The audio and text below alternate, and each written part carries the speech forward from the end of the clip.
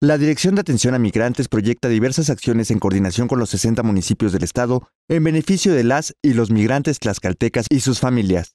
Su directora, Paula Beatriz Abalsa, señaló que también se busca difundir los servicios que brinda la DAM. A partir de enero de 2023 estamos trabajando arduamente en construir una agenda con la mayor cantidad de visitas a los municipios y a las comunidades precisamente para difundir nuestros servicios y acercarnos a la población tlaxcalteca, por lo cual establecimos eh, pues ya contacto con 59 de los 60 municipios que nos van a recibir durante el 2023. El programa DAM Cerca de ti contempla la impartición de pláticas en instituciones educativas sobre la prevención del sueño americano. Nos enfocamos a las secundarias porque detectamos que es en esta edad cuando los chicos empiezan a buscar o a pensar en salir de su país para buscar mejores oportunidades.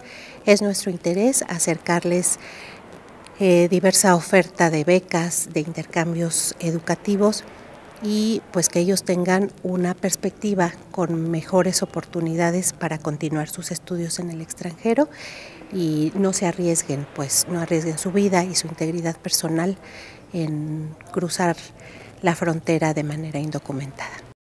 La directora de la DAM agregó que de igual forma se trabaja en una línea de apoyo psicológico a distancia de manera gratuita, donde a través de ocho sesiones se cuide la salud mental de los migrantes y sus familias. Finalmente, Beatriz Abalsa comentó sobre la importancia de fomentar mejores hábitos de salud entre nuestros connacionales.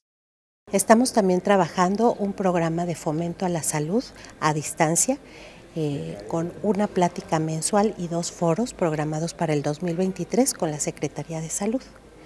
Y pues es importante que nosotros fomentemos mejores hábitos de vida en las personas que están lejos de nuestros territorios para que ellos sepan cómo cuidarse.